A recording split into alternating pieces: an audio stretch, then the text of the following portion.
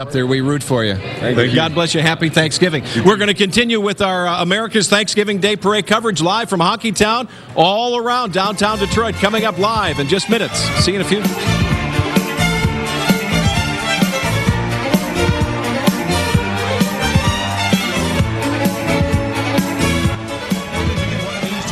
Back to you. All right, and we certainly want to thank them and a hello to you too on this Thanksgiving morning. I hear the sounds of another marching band. If you haven't voted for your favorite already, this might be the one.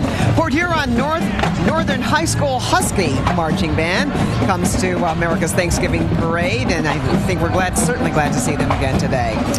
They've got 139 with them today under the direction of Eric J. St. Major. Uh, they've been picking up high ratings for as long as they can remember at all kinds of festivals and parades. And they're performing Holly Jolly, not Christmas, but Holly Jolly Parade.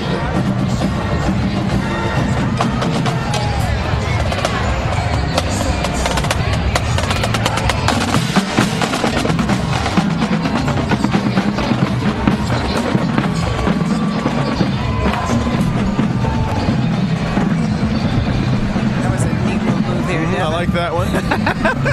the Husky marching band all the way from Port Huron Northern High School. Resplendent in their uniforms today. I should say Gold that this and green. is their fifth appearance in America's Thanksgiving Parade. sorry, blue and green it is. Exit U of M colors. That doesn't, that doesn't, it's got Sort navy blue going. Doesn't that make your heart jump?